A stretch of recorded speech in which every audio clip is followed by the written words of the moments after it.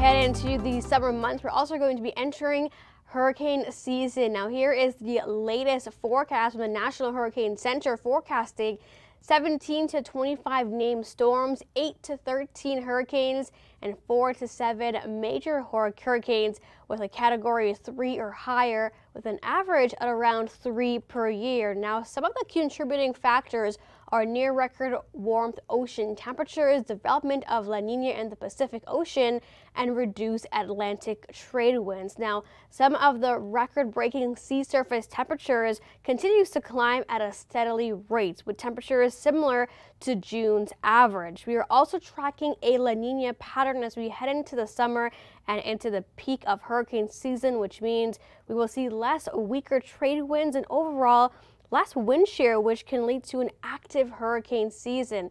Now, once we start, the first name on the list will be Alberto for Atlantic storm names, and we may surpass this list this year.